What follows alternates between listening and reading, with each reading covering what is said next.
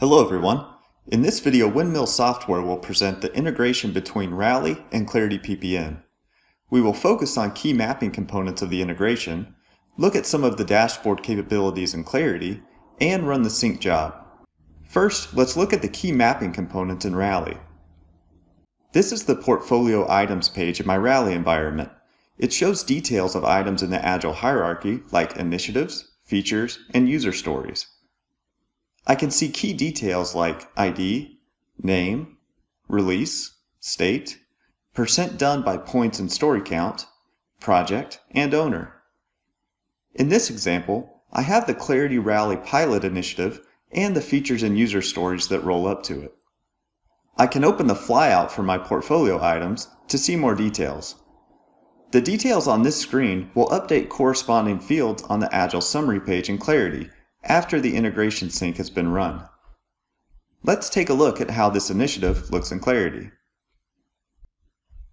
This is the task page on the Clarity Rally pilot project in Clarity. I've already run the initial sync with Rally so I can see the features and user stories on the project. The integration can be single or bidirectional based on each customer's needs.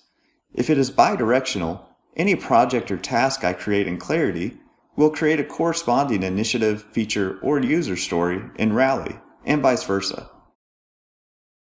The integration is flexible enough that I can choose which projects I want to include or exclude.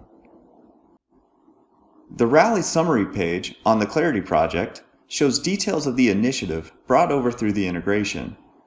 I can see general information, planning details, schedule, user story metrics, and sync schedule info.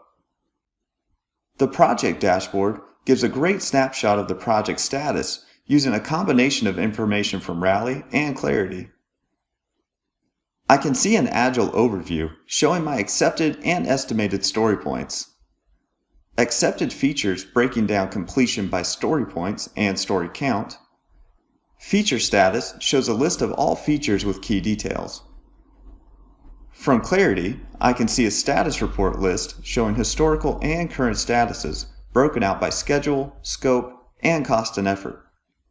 I can also see an overall project status with financial planning from Clarity and status trending. Now let's take a look at how the integration is run. I'll start by updating the initiative in Rally. On my Rally initiative, I1, I'll update the risk score and the WSJF score.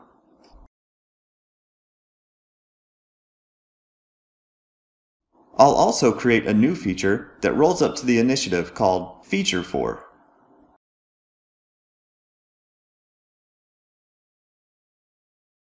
I also need to add the initiative I1 as the parent for this feature.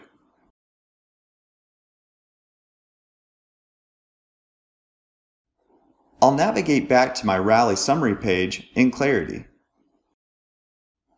I'll open the Actions dropdown and select Synchronize Rally. This will run the sync job and update Clarity with the changes I just made in Rally. I can see the risk score and WSJF score are updated on this page. On my task page, I can see the newly created F4 task representing the feature I just created in Rally. All of my dashboards and reports will also update. The sync job can also be scheduled so that it can run overnight and keep the two environments in sync. This is a small sample of what can be updated using the Clarity to Rally connector. In this video, we have presented the integration between Rally and Clarity PPM.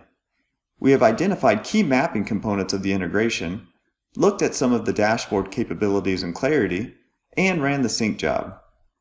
You can find more videos demonstrating other components of Clarity PPM on our website.